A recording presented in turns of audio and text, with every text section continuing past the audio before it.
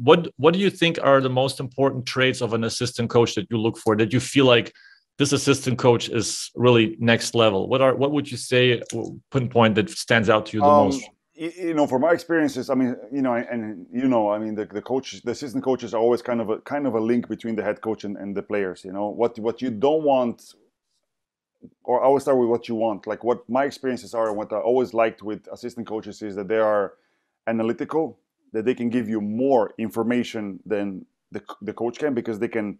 You know, I don't know how di- different coaching staffs work, but you know, I had situations where we had two or three coach uh, assistant coaches, and those guys would then kind of split in groups. You know, maybe some guy had big guys and wings and, and guards and stuff. And it was always like you always want, especially after games or in preparation of games, go to these guys to get more information. For me, that was very helpful. I was big on preparation always. So for me, it was very important to understand what I need to do, what my opponent might do, and, and, and things like this. That's what I was looking always in, in, in assistant coaches.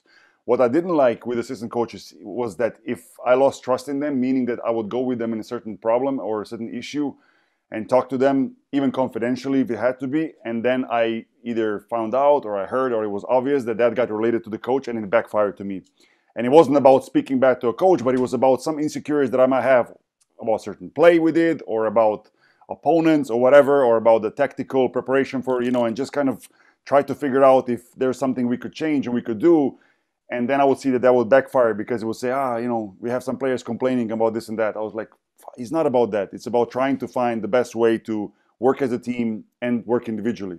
So you, you know, I think the assistant coaches have a very important role because they are linked between the players and the coaches, but they also need to keep that trust level extremely high. I think it's extremely important, and that's where these coaches can benefit. And that's why you see in a lot of situations where assistant coaches are so popular that at some point, we, you know, mostly with the same team, then they become the head coach because the trust level was built early and it was sustained throughout the young assistant coach's career.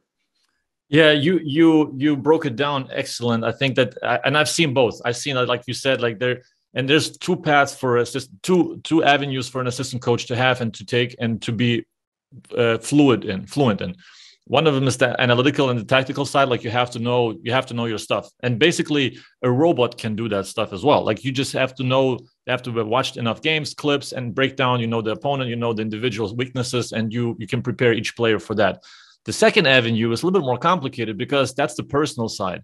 Mm-hmm. and that's when you also like the the players like the head coach is a little bit further out so he's not always there. And the assistant coaches are always the ones that are um, the players seek out uh, uh, during after practices or whatever. And you have to also you have to have a filter for that. You have to have a feel but you have to have a filter of which is which information now do i need to keep to myself? How do i filter by protecting the players information but still filter out and give it portray it to the coach as like a a problem that could arise in a certain manner if we don't do this this and that but you by by protecting the identity of the player, but also by protecting the the uh, withholding the information. So it's it's a way of of relaying because that information that you give to the to the assistant coach is probably essential for the for the team's success. But then the assistant coach has to think of how do I translate this and protect both sides, basically. Yeah, yeah you know.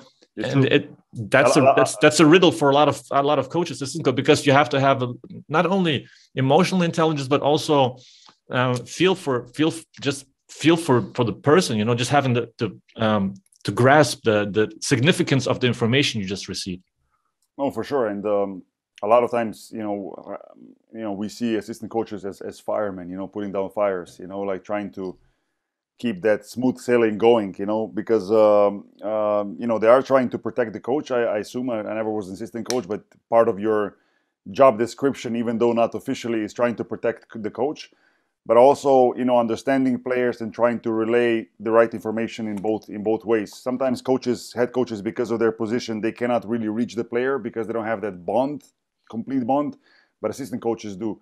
And that's why their role is extremely important. And i think uh, over the years i've seen that the assistant coach's role also in europe the importance of it has increased. Whereas nba has always been well, when i say always i mean since my experiences 20 years ago or 15 years ago has been really high on on on having assistant coaches approach players more and, and building that bond.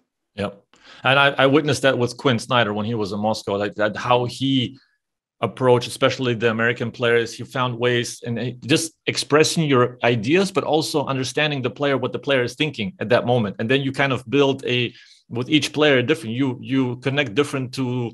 For example, it was like Sonny Weems and Teodosic on the same team. So you you connect with both of them differently. But you, yeah, yeah. as an assistant, you have to find out of what makes you click and how you get on that. But you have to have also knowledge because players respect knowledge. So if you don't have the knowledge of the game, there's only there's only one certain level you can go to. Uh, no, I, absolutely, fully agree, fully agree.